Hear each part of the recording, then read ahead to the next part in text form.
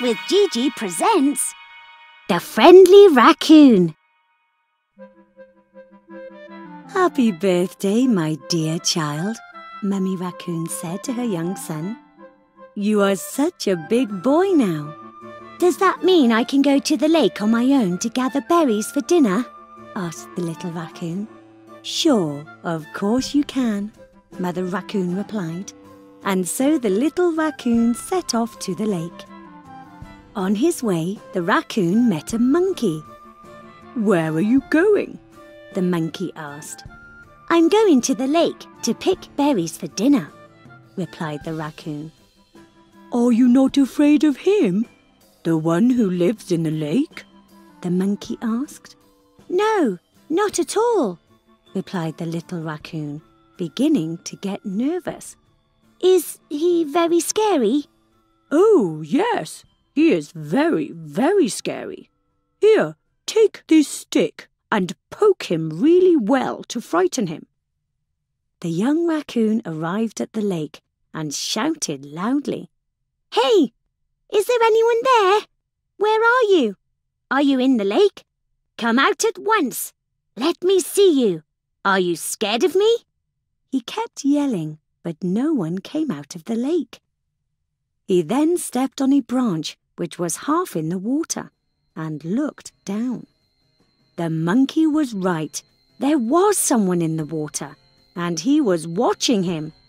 The young raccoon frowned and raised his hand with the stick in it. The person in the lake also frowned and raised his hand. That scared the young raccoon so much that he ran straight home. I will never go to the lake to gather berries again, he told his mother. There is someone in the lake, and he threatened me with a stick, and... Son, you shouldn't be so afraid. Why don't you go back and try to smile at him? Following his mother's advice, the young raccoon went back to the lake and did as she told him.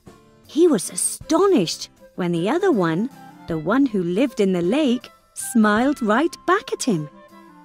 The young raccoon calmed down and cheered up. He gathered a basket full to the brim of berries. The monkey saw him walking cheerfully by the lake. Didn't you get scared? he asked the raccoon.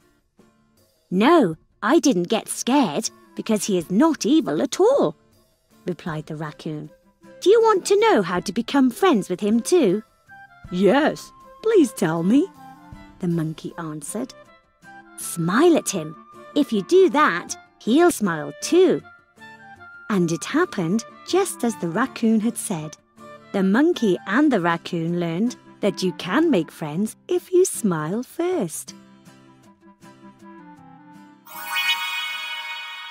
Did you like the story?